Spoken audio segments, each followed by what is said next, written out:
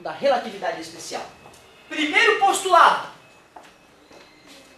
As leis, as leis da natureza, natureza,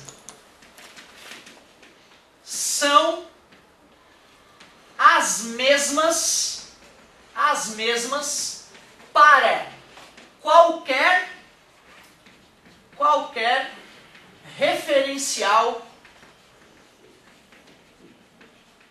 inercial. O que, que é mesmo referencial inercial? Isso. Resumindo, aceleração zero, sem mudança de velocidade.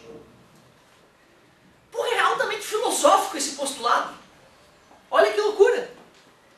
Pô, se existem regras que regem a natureza, como é que elas vão ser uma para um cara que está num sistema de referência e vão, vão ser outras leis para o sujeito que está olhando de outro sistema de referência?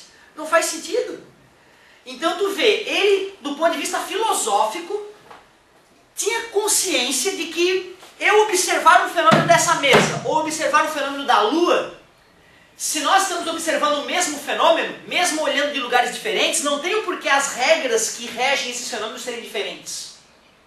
Então essa é uma ideia absolutamente filosófica que nós nunca, teoricamente, vamos poder confirmar. Será que em outro lugar do universo as leis são a mesma? De acordo com Newton, sim. De acordo com Newton. De acordo com Einstein, sim. Que mesmo em outra parte da galáxia, as leis da natureza vão ser as mesmas. Não tem o porquê. O Criador é um só.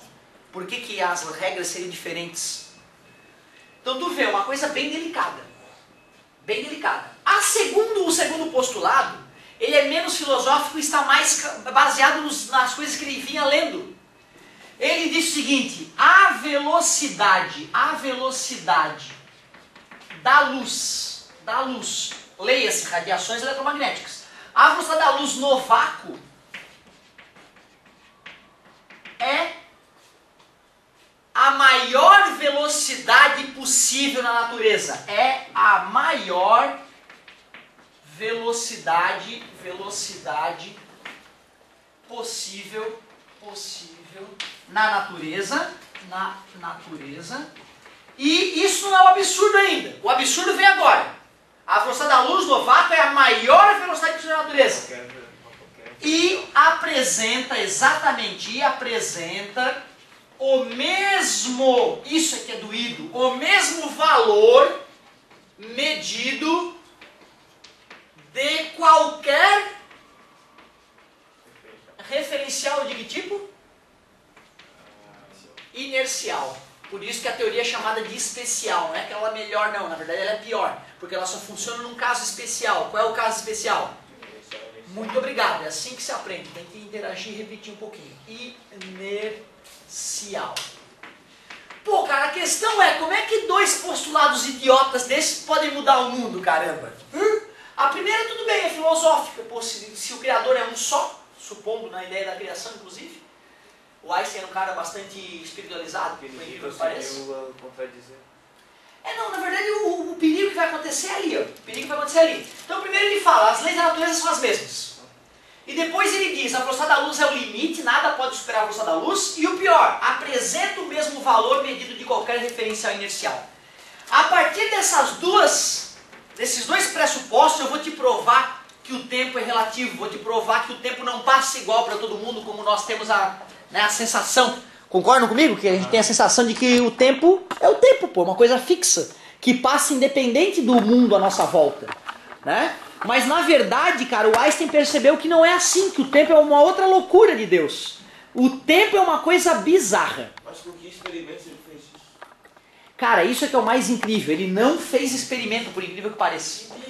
Ele não fez experimento nenhum. Ele lia sobre os, as pesquisas sobre a luz, via que tinha gente falando que a luz tinha velocidade infinita, entendeu? E filosofando. Ele conhecia muito de física básica também. E ele percebeu, caramba, para essas pesquisas tá dando, tá dando esse resultado, cara, não tem outro jeito. Ele teve essas sacadas. Escreveu esse postulado, escreveu a teoria dele, que é absolutamente no mundo das ideias, não existe. Ele não fez nenhum trabalho prático, empírico sobre isso. Inclusive ele falava, olha, se vocês acharem uma contradição para qualquer parte da minha teoria, pode jogar lá fora que ela não serve para merda nenhuma.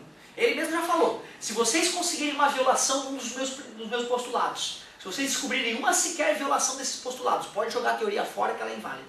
Então ele já alertou que se alguém tivesse descoberto algum experimento que, né, que fosse contra a teoria da relatividade, pode jogar fora que ela é uma merda. Ele mesmo já disse isso. Outra coisa que ele falava muito, né? Ele, ele, ele ria de alguns experimentos físicos. Ele perguntava assim, por que esse babaca fez esse experimento? Não precisa fazer esse experimento, gastar esse dinheiro, esse tempo para concluir o que o experimento concluiu. É só tu raciocinar, pô, daqui a ideia, a ideia é o suficiente, né? Ele era um crítico de alguns tipos de experimentos. Cuidado, não estamos dizendo que fazer experimentos não serve para nada, pelo amor de Deus.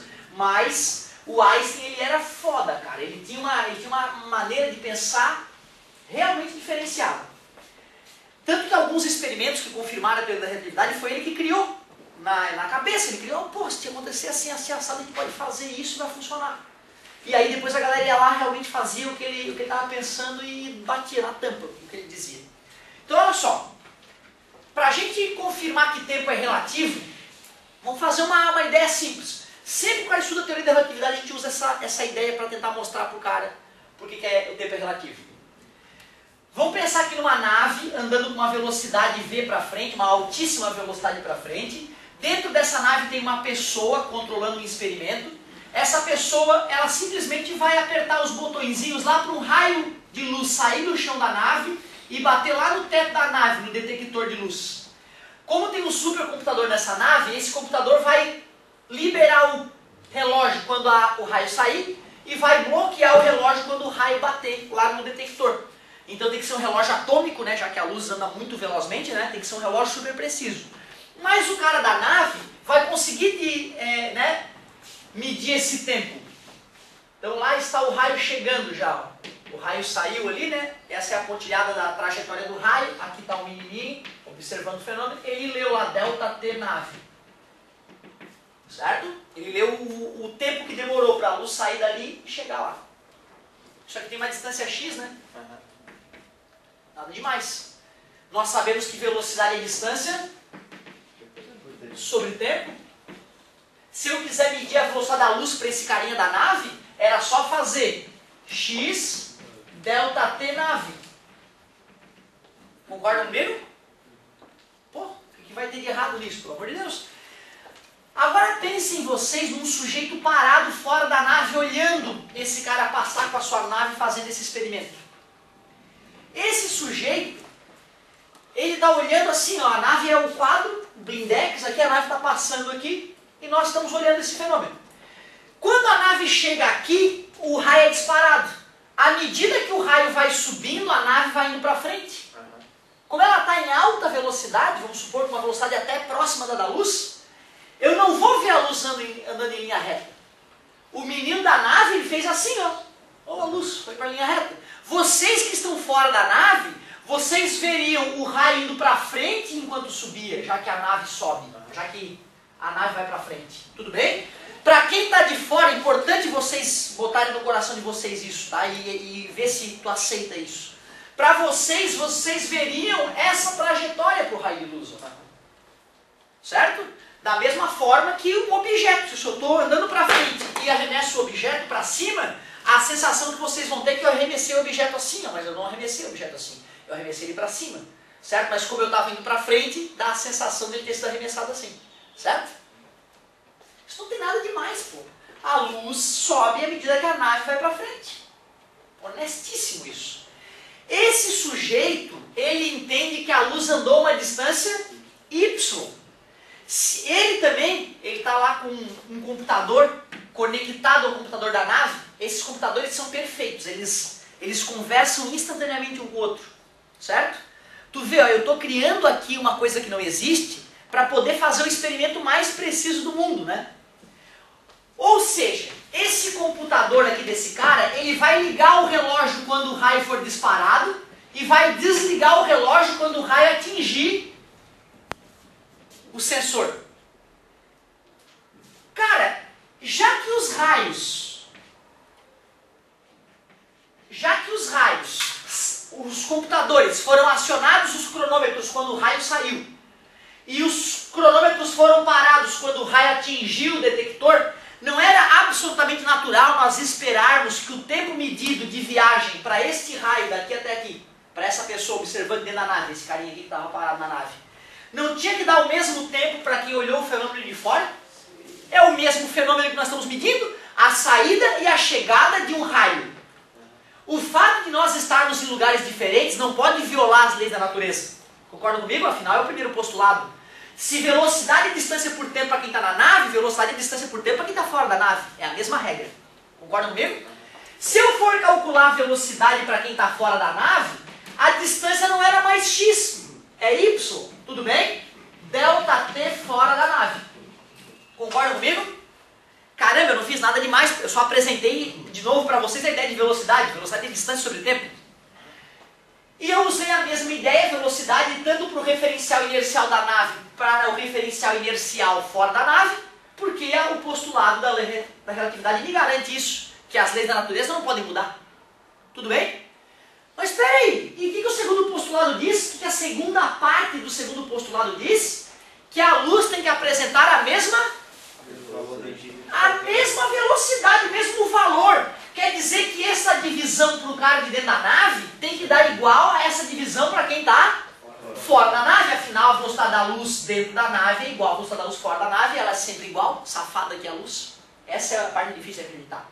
Acreditar que tu parado, a luz te ultrapassa 300 mil km por segundo. E tu está 200 mil km por segundo atrás da luz querendo perseguir ela, ela continua se afastando de ti a 300 mil km por segundo. É isso que é revoltante. Mas, velocidade dentro, velocidade fora. Velocidade nave, dentro da nave, velocidade fora. Quanto é que deu a velocidade dentro da nave? x sobre delta t nave. Quanto é que deu a velocidade fora da nave? y sobre delta t de fora da nave. Mas espera aí, cara, quais desses tamanhos é maior, x ou y? Aparentemente. Não tem jeito, né? Já que essa aqui foi medida em linha reta do chão da nave ao teto da nave. E esse Y, além de ter esse mesmo deslocamento, teve um deslocamento lateral, obrigatoriamente o Y é maior que o X, né? Mas para essa igualdade existir, meus amigos, se o Y é maior que o X, para a igualdade existir só se o ΔT de fora da nave, a passagem do tempo de fora da nave, der um resultado maior que a passagem do tempo dentro da nave. Cara, isso é fato. Isso já não é mais uma teoria. Nós já sabemos, nós temos certeza que isso acontece assim. Então, embora o Einstein não tenha feito experimentos, o mundo científico ficou maluco com a ideia dele e pensou, Einstein, tu é doente, nós vamos provar que tu é doente. E começaram a fazer experimentos de todos os tipos, milhares de experimentos de formas diferentes, todos confirmando a teoria do Einstein. Todos, todos, todos, todos, todos, todos. Então realmente é assustador. A ideia que nós temos de tempo é uma ideia absolutamente falsa. A gente tem a noção de que como a gente está num ambiente teoricamente estável, aí os nossos relógios são relógios ruins para medir a passagem do tempo, é, a gente não consegue perceber que o tempo depende da maneira como a gente se mexe. Se eu estou parado, meu relógio anda no ritmo. Se eu começo a caminhar, meu relógio já mudou de ritmo, cara. Essa mudança de ritmo para quem está parado e caminhando na velocidade do ser humano é, é tão ridícula, é tão ínfima que pode ignorar. Mas se eu começo a andar na 90% da velocidade da luz, porra, o meu relógio atrasa bastante em relação ao relógio que está parado. Ou seja, ele vai passar no ritmo mais lento. Ou seja, para quem está parado em relação à minha nave, o relógio dessa pessoa vai marcar muito mais tempo do que o meu. Isto é um fator. Não estou te contando agora uma. Ó, oh, tem teorias que evitam usar o tempo como medida, justamente para evitar esse problema do tempo ser relativo, certo? Mas nós sabemos que aquilo que nós chamamos de tempo, que nós medimos com o nosso relógio, aquilo não apresenta um fluxo constante. Aquilo depende não só da velocidade quando o objeto está, mas também da massa próxima dele. Se existe uma massa muito grande próximo de um relógio, aquele relógio vai sofrer influência gravitacional dessa massa. E o tempo, a maneira como o tempo vai passar vai mudar. Olha que loucura. Tempo é relativo. Mais legal, eu só coloquei a base da teoria, os dois postulados e te provei se tu acredita naqueles postulados, né, se tu acha que são razoáveis, e eu posso te confirmar que o segundo postulado, pelo menos, não houve nenhuma violação dele até agora, a gente mede a velocidade da luz de tudo que é jeito, sempre dá os 300 mil km por segundo, próximo disso, né, 299, os quebrados. Então, a consequência, se aquilo lá é verdade, a consequência imediata é isso. Se eu tenho um relógio em dois, dois, dois lugares diferentes, Um desses relógios está parado em relação ao referencial inercial, velocidade zero, e o outro relógio está andando em alta velocidade. O relógio que está em alta velocidade vai ter o seu ritmo alterado, passando mais lentamente. Outra coisa interessante que vai acontecer na próxima aula de teoria da relatividade. Já que a velocidade maior que existe na natureza é a velocidade da luz, como explicar que um elétron não pode ser acelerado acima da velocidade da luz, já que a massa do elétron é 10 na menos 31 kg? 9 vezes 10 na menos 31 kg. A única explicação, porque porra, eu posso aplicar uma força nesse objeto. Se eu aplico uma força nesse objeto, eu acelero ele. E se eu acelero, a velocidade aumenta. Qual é a explicação então newtoniana para o elétron na velocidade da luz não admitir ser acelerado? É porque tu aplica nele uma força e mesmo aplicando nele uma força, ele se recusa a aumentar de velocidade. Ué, a massa não é a medida da mudança de, da dificuldade de medir a velocidade? Se tu faz força num objeto, ele tem massa e ele se recusa a aumentar de velocidade, a interpretação newtoniana é que a massa foi ao infinito. Eita. Ou seja, mesmo um elétron que tem 9 vezes 10 na menos 31 kg, quando ele atinge lá 99,99999% da velocidade da luz, porque ele não atinge a velocidade da luz. O safado do elétron não atinge a velocidade da luz. Ele atinge 99,99999 e a luz ele não atinge. É porque quanto mais próximo da velocidade da luz, é como se a massa dele fosse tendendo ao infinito. A natureza se recusa a permitir que a velocidade dele aumente. Pior, a gente pega a energia de uma cidade e joga na cabeça do elétron, ele atinge 99% da luz. A gente triplica, quadruplica, aumenta um milhão de vezes a energia. O filho da mãe continua 99,99, só vai aumentando as casas após a vírgula, mas ele não atinge a velocidade da luz. Por isso que a gente está tão confiante quando a gente diz que um corpo com massa nunca atingirá a velocidade da luz, apenas as ondas eletromagnéticas. E aí a gente entende que o fóton é uma partícula de luz, mas ela praticamente não tem massa. Por isso que ele consegue atingir a velocidade da luz. Certo? Mas essas continuações continuarão na próxima aula. Dá uma lida sobre a teoria da relatividade. Arrisca aquela. Te falei uma página para arriscar? Não. Hoje ainda não? Não. Então dá uma lida na teoria da relatividade. Se bem que esse começo ele já vai mostrar as contas, que eu só vou mostrar na próxima aula. Então eu até prefiro que tu leia a matéria anterior. Leia a página anterior. Resolva a página 13 da aula anterior, das ondas eletromagnéticas, porque aí a gente vai aprofundar ainda a relatividade na próxima aula, e aí sim vai ter a tarefinha da teoria da relatividade. Muito obrigado pela paciência e pela atenção, e até mais.